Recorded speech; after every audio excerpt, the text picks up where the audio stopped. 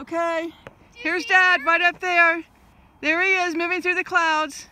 Power up, make contact, Dad, Grandpa. Power up. Let us know that you're here with us. We can see you without the goggle. You're moving very slow. Did you just power up, guys? Yeah. I kind of saw him power up. The moon is right there. The moon's covered a little bit. I got him before he went into the cloud cover. I can still see him. He powered up. Did he power up, guys? Yes, yeah. yes, he did. Dad making contact. The oh. unbelievable thing is we were talking about Dad and all of a sudden this just appeared in the sky and he's been powering up. And when we got the Ghost Radar box out at the beginning of the tour, the very first word immediately that came on the Ghost Radar box was Dad. And then she said, are you here with me? And then it said exact.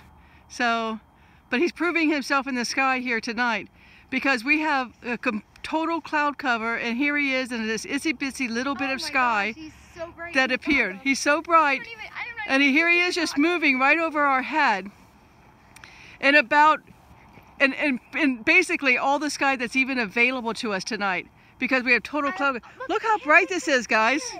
Look at all. Is that not the most amazing thing you've ever seen? That is like the one part of the sky that's that's not. It's the only part of the sky that's available. Dad, thank you. If you ever thought that he wasn't watching over you, here he is. SedonaUFO.com making contact with the other side. Yes.